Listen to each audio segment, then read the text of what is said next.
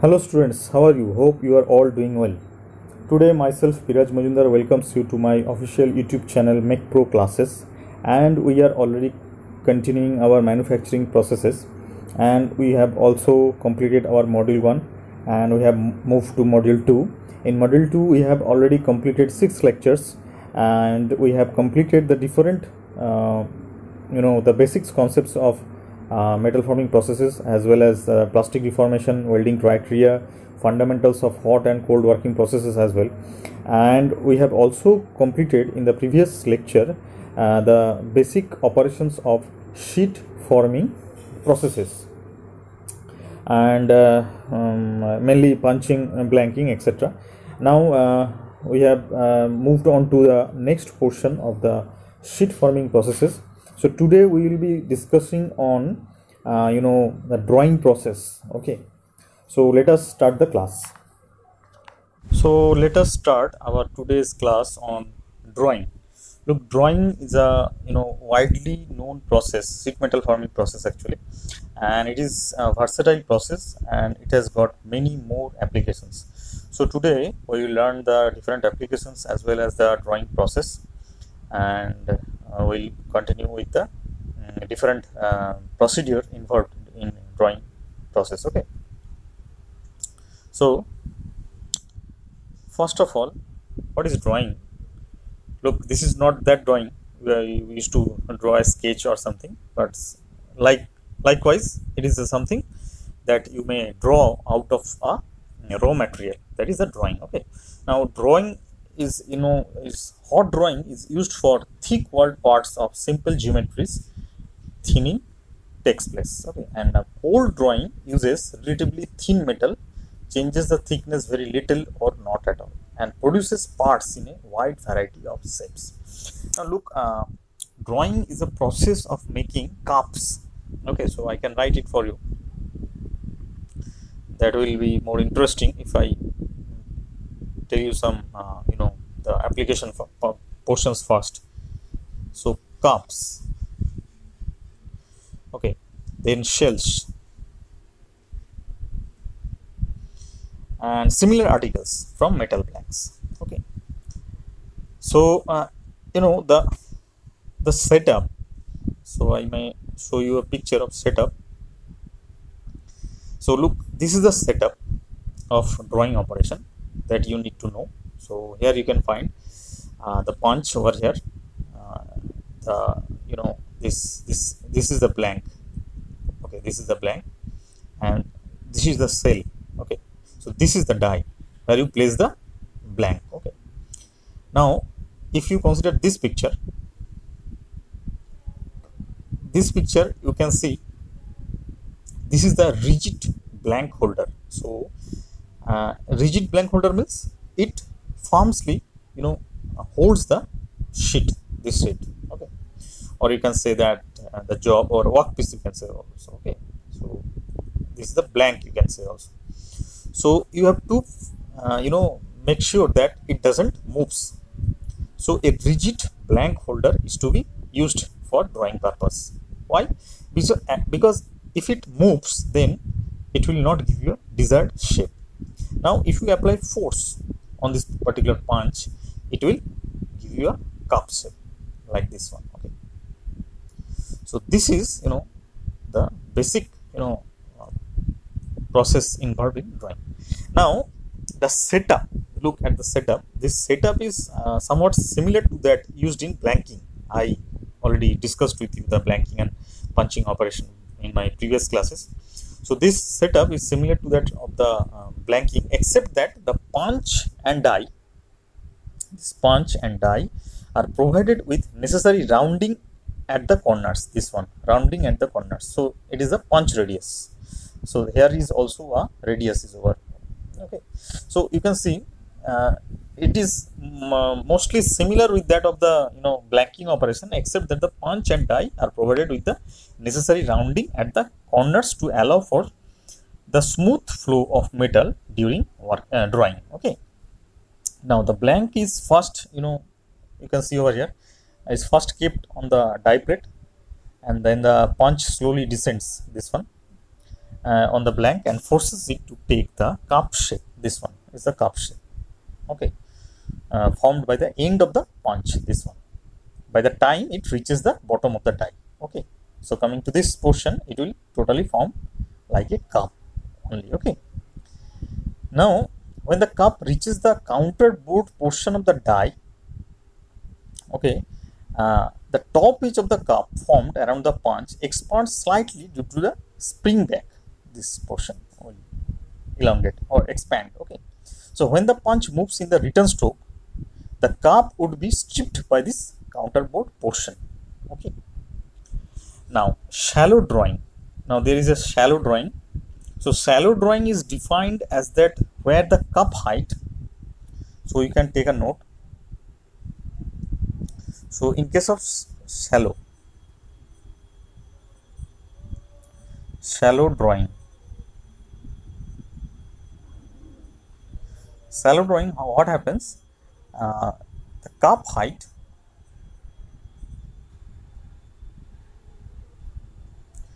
uh, is less than uh, half the diameter.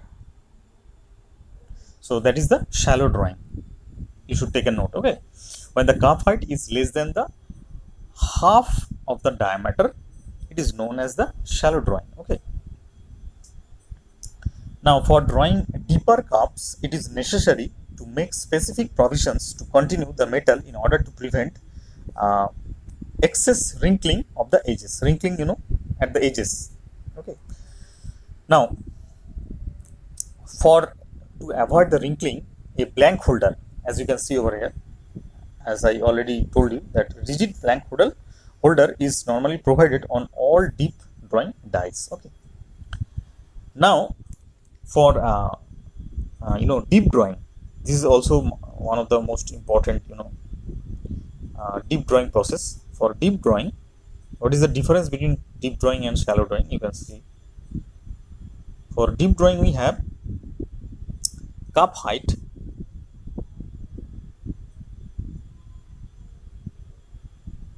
so cup height would be more than half of the diameter. So that is the deep drawing. And in shallow drawing cup height will be less than half of the diameter. So you must take a note and uh, remember or write it somewhere now in uh, you know uh, ductile materials are very easier to uh, to be drawn into uh, deeper cups. So for deeper cups or you can say for uh, deep drawing ductile materials are more suitable than in any other materials you can see over okay. Now now blank size. Look here is a formula that is being widely used for solving numerical problems coming out of this particular uh, you know uh, drawing uh, particular uh, this drawing uh, chapter. So this formula you can see over here this is the most most important formula you are going to use in your examinations and you must take a note. So this is going to be your most important formula. And this is very easy. Numericals are coming out of this you know this drawing chapter. So you must take a note. D equal to d square plus 4 dh okay. So that is going to be very important formula that you will be needing for solving the uh, numericals based on uh, drawing operation. Okay. So look uh, what happens here? Let me show you how the formula comes actually. Say we have a uh, say we have a previously we have a this type of you know sheet. Okay. And say the if you make this one say this one this uh, long sheet if you roll this one it becomes a circle and say it has got a diameter of d. Okay. Now what happens? After the drawing operation what happens? This is say this one. You apply force over here and it got bends in such a way. This one. Okay. So after uh, you know the drawing operation the same sheet this sheet becomes this one. Okay. So cups. So what happens if you consider this uh, you know diameter as d? Okay. And uh, you can see over here this one. This one is the diameter. So let me show you. So this one is the diameter. This is the diameter previous one. And then d small d this is small d you can see over here is uh, diameter after the cupping formation of the cup. Okay. So previously it was having diameter d. And after uh, drawing operation it has got become its diameter as d. Now the height has become h. So if you consider the you know surface areas to be same. Okay. So you can simply write it as previously it was having pi by 4 uh, d square. Okay. For the you know the circular part this one. Now it has got this one. So this h and this small d. Previously it was only having d. Okay. So if you consider this type this uh, surface area of this particular cup then it becomes pi by 4 d square plus for this two sides okay. If you consider that surface area it will become pi d h. Okay. Now if you remove the 4 from both of the sides it will come over here a 4 okay.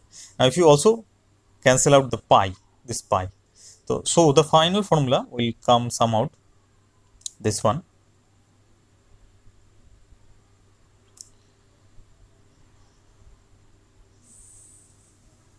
it will become d square equal to d square that is a small d square plus 4 dh from here okay.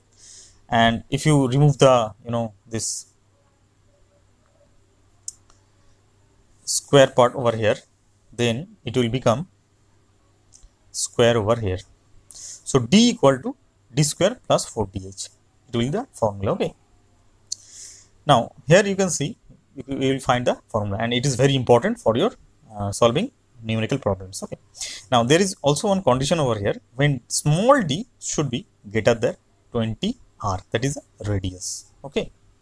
Now there are two more formulas. Uh, this will be important for your mcq purposes as well.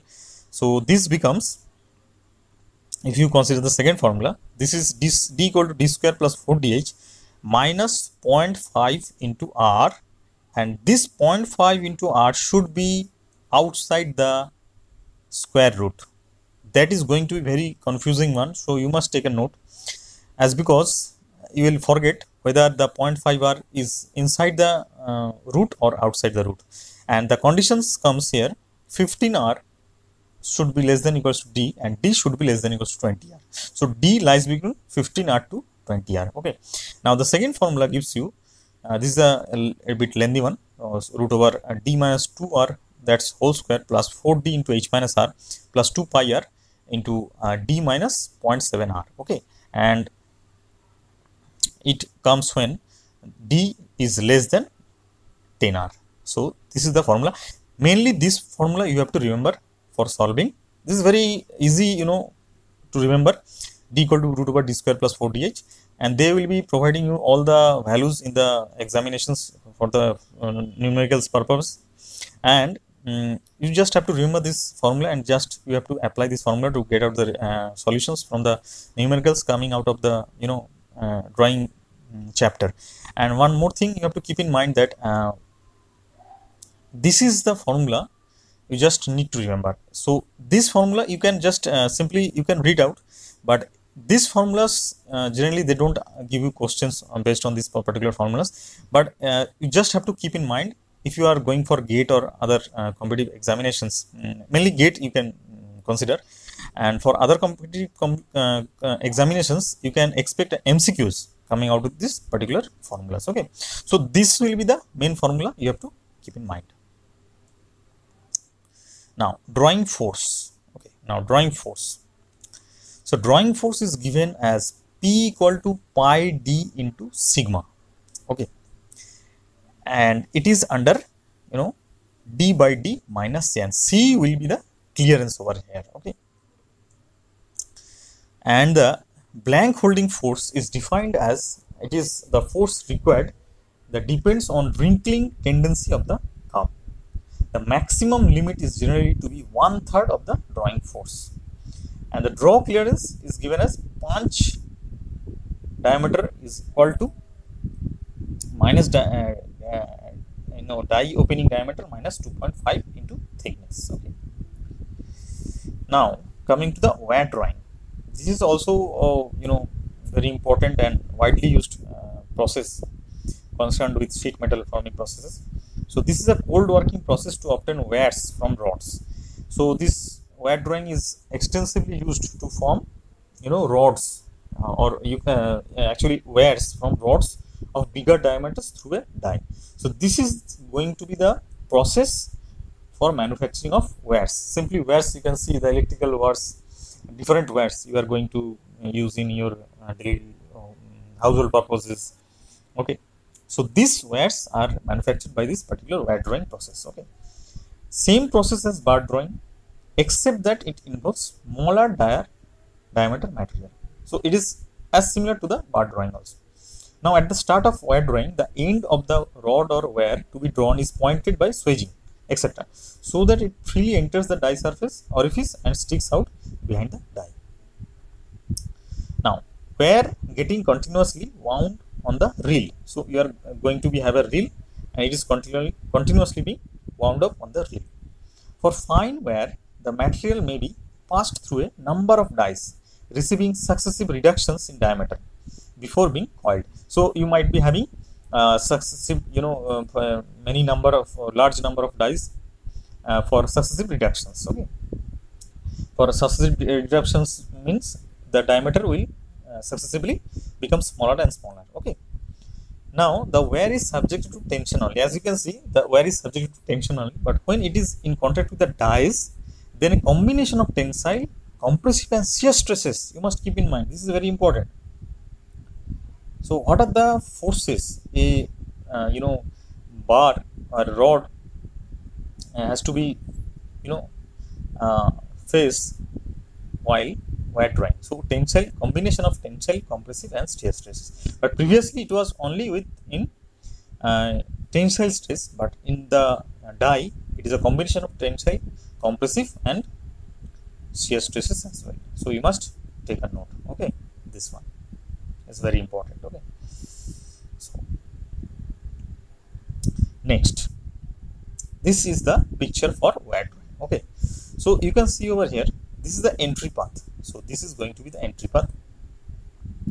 And you can see over here this is the approach given over here and this is the approach angle okay this is alpha and this is the back relief given over here. And this is the bearing surface that is the land. So a very small orifice is um, you know having over here. Uh, this is in between the dies. And the rods coming you know entering this portion coming out of as a wire. So say this one type of wires okay. So that is the wire drawing process okay. Now die materials. So you can see over here die materials are generally used uh, for this uh, uh, wire drawing process is are tool steels or tungsten carbides or polycrystalline diamond okay? So they, that are the um, tools generally being used for wire drawing die okay?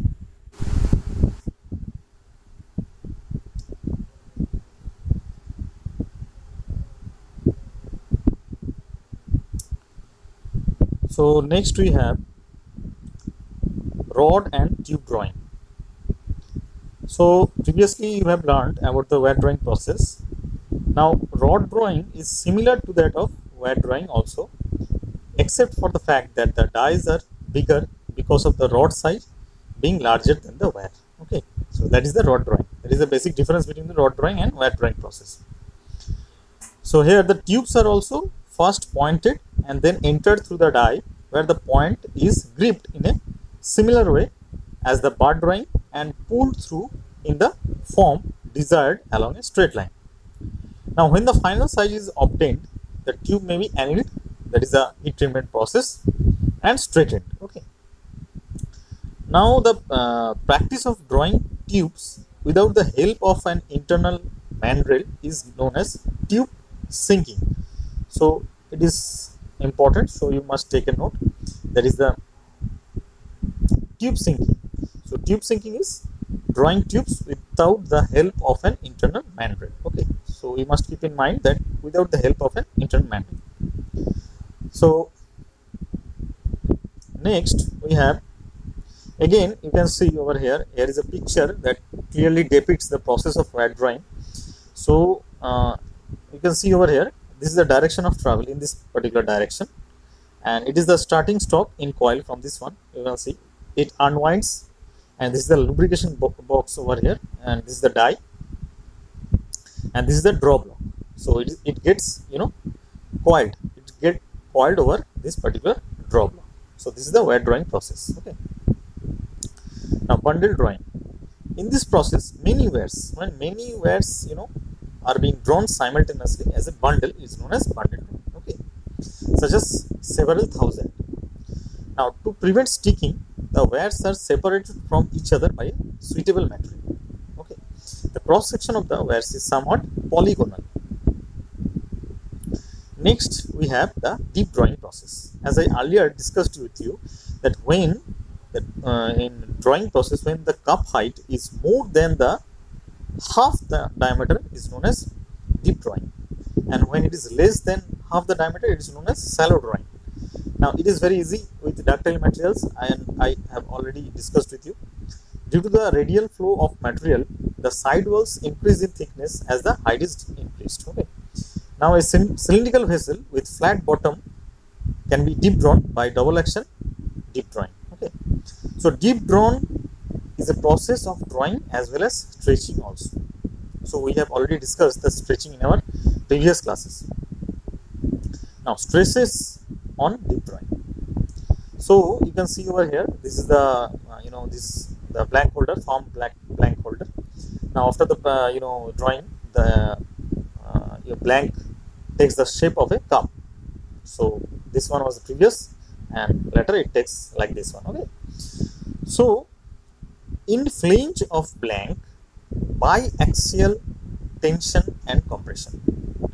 And in wall of the cup this one this wall simple inertial tension force. Is acting okay. Now the deep drawability when the ratio of maximum blank diameter to the diameter of the cup that is the d by d so capital d is the previous one. Previous before the drawing operation is being done on the particular blank the diameter is given as blank diameter and it's denoted by capital d. And diameter after the drawing operation that is the diameter of the cup is given by small d okay. So the ratio of maximum blank diameter to the diameter of the cup drawn is d by d okay. There is a limiting drawing ratio that is the ldr limiting drawing ratio after which the punch will pierce a hole in the blank instead of drawing. The ratio depends on material amount of friction present etc okay now limiting drawing ratio it is restricted to 1.6 to 2.3 this is very important. So you need to take a note of this one. Limiting drawing ratio is 1.6 to 2.3 next again the average reduction in deep drawing is d by d is kept at 0.5 okay. So that is the diameter of the cup and there is a diameter of the blank now reduction is 1 minus d by d into if you want to convert it into percentage that is 100 you have to multiply with 100 so it will give you 50 percent as because d by d is 0.5 okay. So first draw there will be a reduction of 50 percent. In the second draw there will be a reduction of 30 percent. In the third draw there will be 25 percent. Fourth draw it will be 16 and in fifth draw it will be 13 percent okay. Now let us discuss some of the dies that we generally use in many of the operations uh, whether you can say as uh, punching or blanking or uh, you know this um, drawing process as well okay? So these are the commonly used dies that are being widely used in sheet metal operations. First is the progressive dies now this is very important and uh, most often uh, the questions mcq questions are arising out of this progressive compound and combination dies so progressive dies uh, you know it is Uh, used to you know perform two or more op operations simultaneously. This is very important and you must take a note. So progressive dies it perform two or more operations simultaneously in a single stroke of punch press. So this is very important. In a single stroke of punch press two or more operations are simultaneously done. Okay. Next compound dies all the necessary operations are carried out at a single station in a single stroke of the ram to do more than one set of operation a compound die consists of the necessary sets of punches and dies okay. Now combination dies combination die is same as that of compound die with the main difference here that non-cutting operations such as bending and forming are also included as a part of the operation. Okay. So this is the important thing you must keep in mind or take a note somewhere about the progressive dies compound dies and combination dies next here is a picture for progressive you know uh, piercing and blanking die for making a simple washer okay? So washer you know uh, that are being used widely in uh, nut bolt uh, fittings okay and screw fittings also. So this is the ram this is the blanking punch here is the piercing punch this here you see this is the blanking punch and here is the piercing punch. It will act here okay? Now this is the stripper uh, and this is the scrap is the scrap. And this is the finished washer. It is coming out of this particular passage. You can see over here. This is the finished washer okay? So it looks like this one. This one is the finished washer. So you can see over here. Now this is the stop and this is the metal strip and these are the dies. You can see over here okay? So this is the metal strip from where the punches are coming out okay? No, sorry they're not the punches actually. The washers are coming now talking about the lubrication. Lubrication you know is very essential for any of the operations being carried out. So in drawing operations also proper lubrication is essential for to improve die life to reduce drawing forces to reduce temperature to improve surface finish. Next cleaning and uh, lubrication in wet drawing so cleaning is done to remove scale and rust by acid pickling Lubrication boxes precede the individual dies to help reduce friction drag and prevent wear of the dies. Now, sulling. Sulling is the, uh, you know, the wire is coated with a thin coat of ferrous hydroxide, which when combined with lime acts as a filler for the lubricant. Phosphating. Phosphating, what happens? A thin film of manganese, iron and zinc phosphate is applied to the wire. Electrolytic coating. For very thin wires, electrolytic coating of copper is used to reduce friction. Now, here comes a formula uh, you just need to uh, give a, a reading of, of, this formula. Actually they are being asked sometimes in gate numericals to solve gate numericals also.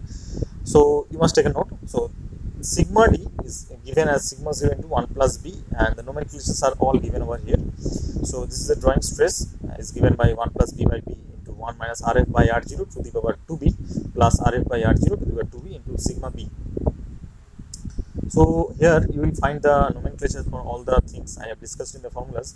Sigma 0 is the yield strength of the material, B equals to mu cot alpha. So uh, mu is the coefficient of friction, alpha is the half angle, and Ri is Rf is the radius of the workpiece at exit, uh, final radius you can say, and R0 is the initial di uh, di diameter uh, radius. Okay, so radius of the workpiece at the entry R0 so maximum reduction per pass is given by you know with back stress sigma b. This one is the back stress. This one sigma b is given by this formula. And without back stress, the formula comes to be sigma z 0 into 1 plus b by b into 1 minus rf by r0 to the power 2 Now the degree of drawing or reduction factor in cross sectional area. This is very important. You must take note somewhere. So d equal to a0 minus af. So that is the initial area and this is the final area by a0. That is the initial area and it is given by also you can see that there is a cross sectional area so pi by 4 d square and pi by 4 cancels out from taking common from all the uh, portions okay? So ultimately it remains as d0 square minus df square by d0 square. So d0 is the initial and df is the final diameter. Now the uh, true strain is given by ln a0 that is the initial diameter by final uh, sorry initial uh, area by final area and it is also given by ln 1 by 1 minus d this is the rod and tube drawing. So you can see over here this is the tube sinking. Here is the die is given over here and this is being uh, the this is the pool over here uh, to make the tube the, to re reduce the diameter of the tube as well. Now here is the fixed plug drawing. This is the plug uh, in between there is a plug. This is the die. Same process as of this one only the plug is in between placed in between the uh, tube. Okay.